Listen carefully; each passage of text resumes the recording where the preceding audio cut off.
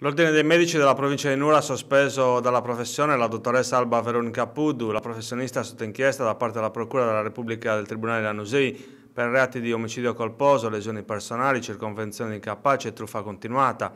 Un'inchiesta partita dopo la trasmissione delle Iene messa in onda il 19 novembre 2017 su Italia 1, in cui la dottoressa di Tertenia sosteneva di poter curare i tumori con gli ultrasuoni. Il provvedimento disciplinare dell'Ordine dei Medici della provincia di Nuoro arriva dopo che il GIP del Tribunale Lanusei, Francesco Alterio, ha disposto l'interdizione della professione medica per un anno su richiesta del pubblico ministero Gualtiero Battisti,